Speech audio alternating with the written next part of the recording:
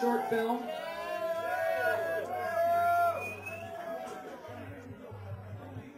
Whoops, sorry, I don't mean to take off the face of anybody in the front row. Uh, this is actually a documentary film.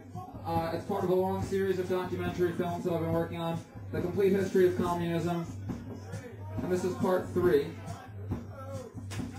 Some of you may have seen Communism Part 1, which is Karl Marx and the writing of the Communist Manifesto. Some of you may have seen Part 2, which is uh, the Paris Commune of 1871. Some of you may have already seen Part 3. In fact, some of you may have already seen Part 4. But regardless, this evening I'll be doing Part 3. Complete History of Communism Part 3, The Formation of the Soviet Union. First I'll introduce two men, Trotsky and Lenin, who led the Russian Revolution. At first they were political enemies of each other, but they were both always distributing Marxist pamphlets and committing other revolutionary acts. They were both always getting thrown in jail and escaping, and always getting exiled and coming back. Now I'll introduce Russia in 1900, basically an unindustrial, medieval sort of place. Ruled over by the Tsar and the church and the landlords, most of the people lived practically as slaves. There were revolutions which tried and failed, like one that happened in 1905.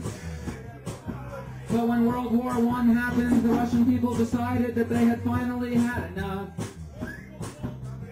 See, fighting against better industrialized Germany, the Russian army lost more soldiers than any army in any war in history before. And they started to say to each other, well, we could keep getting blown apart for the sake of our rich leaders, but what the heck for?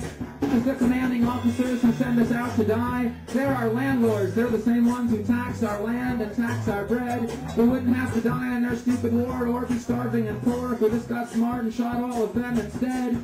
So in February 1917, there were massive uprisings. The Tsar knew his time had come, he just gave up and went. And power fell into the hands of the rich parliament called the Dumas, which became the provisional government.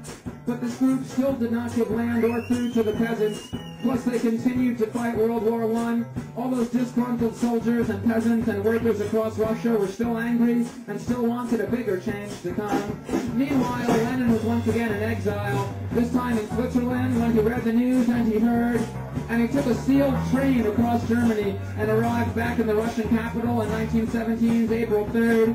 And finally, Lenin and Trotsky joined forces with each other, and together their ideas for a better kind of government were spread. They said power should be in the hands of smaller local councils called Soviets, and they demanded immediate peace, land, and bread. And the communist takeover happened pretty easily in the capital in 1917's October. In the largest country in the world, a Marx-inspired communist revolution had actually peacefully taken over. Well, taking power in the capital was relatively easy, but then a horrendous civil war soon exploded between the Red Army who wanted change and the White Armies who wanted to return to imperial power and land returned to the original landlord owners. The White Armies were separate groups, but they were funded by America and France and England and Japan. And the Red Army was just a peasant army, but they had the support of the peasants because they all wanted to kick the rich landlords off the land. And the Red Army won, but after World War I and the Civil War, Russia was in ruins and starving and tired. See, in order to have peace with Germany, Lenin had to give the Germans a gigantic chunk of the Russian Empire. And the land that Lenin had to give away contained almost all of Russia's industry, Russia's iron, and Russia's coal. It was Lenin's biggest hope that soon Germany might have a communist revolution too, and then the resources might be shared by all. Another unpopular thing Lenin did was when Russia had its first ever democratic elections for assembly leaders. Lenin got rid of the whole assembly and said in this new society, rule by the Soviet councils was the only power needed. So for these reasons, many communists actually hated Lenin, and he was almost assassinated by a woman named Fanya Kaplan. He survived, but he was weaker, and in 1922 he wrote a testament warning of some things he was scared were going to happen. He was worried about a split in the Communist Party leadership between Trotsky and the Secretary General Joseph Stalin. Stalin had been filling governmental seats with his own supporters, and Lenin warned he'd gotten too powerful and seemed too intolerant.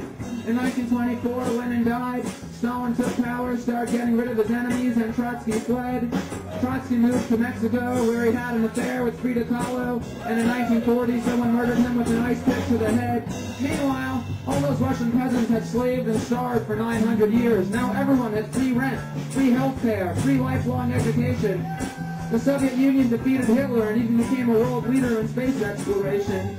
But trying to start a new kind of society from scratch, based on poor resources and surrounded by a whole world that wanted them crushed, the Soviet leadership became a paranoid, oppressive dictatorship, and Lenin's dream of communism was lost which leads us right into complete history of communism part four, communism in China. But I'm not going to do that one this evening. Thank you for paying attention.